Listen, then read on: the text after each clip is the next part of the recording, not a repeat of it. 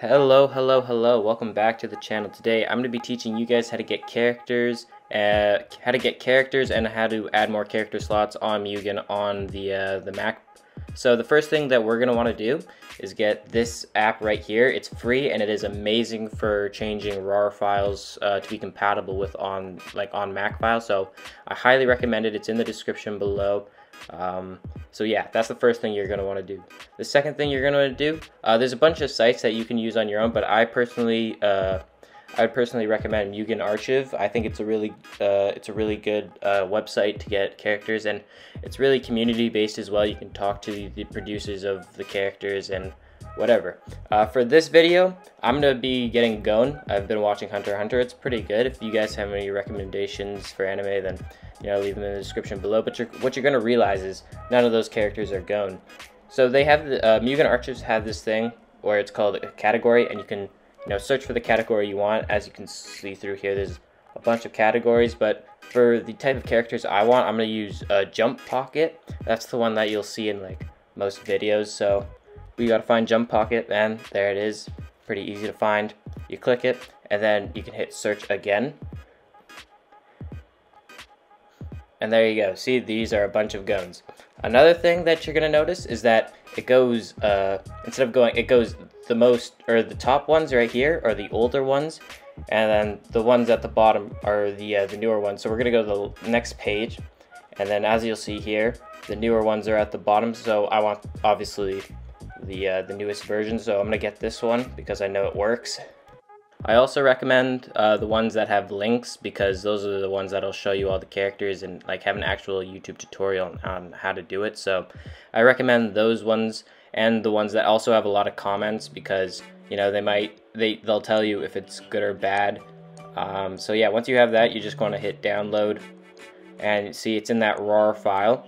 So what we're gonna want to do now is go to Finder.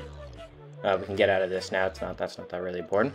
We're gonna go to Finder and you're going to see this Gon in the RAR file. You're going to double click it, as so, and see the Unarchiver, that app that we got in the first, uh, in the first step, is going to change it into a normal file. Now, you do not want to take that Gon file and put it in the characters file. That is a that is bad. This is a, one of the many crucial steps here.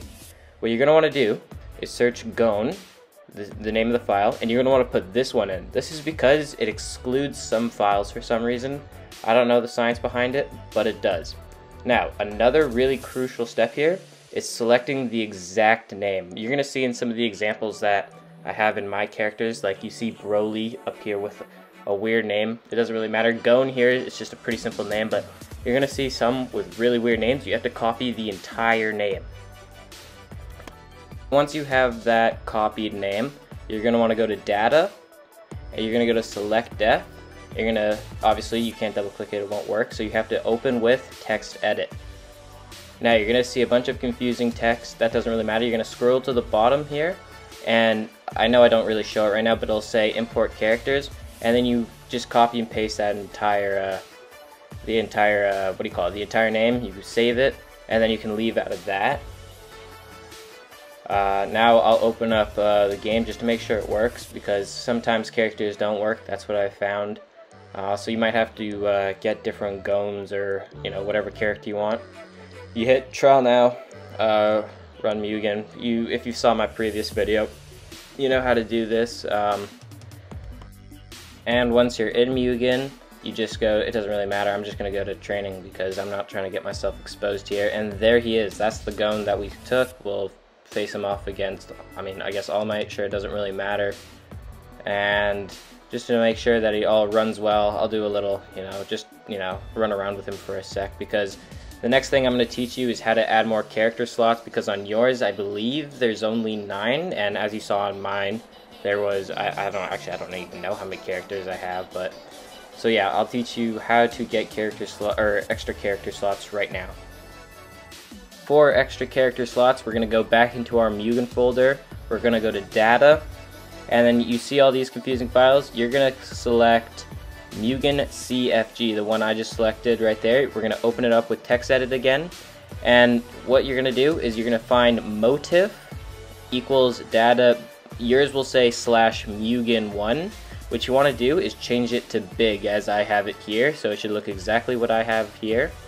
Uh, then you're going to hit save and then that's essentially it. It's a really simple process. You hit save twice if you know you're safe like me and that is it. You can go back into Mugen and you should have, I think it's 60.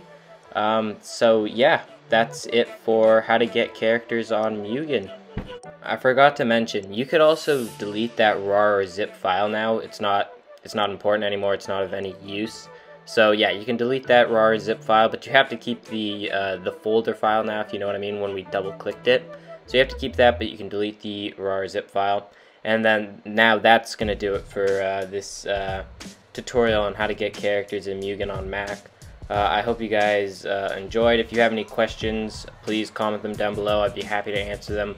And um, yeah, that's going to do it. Take care. Next week I'll be teaching you how to get stages on Mugen.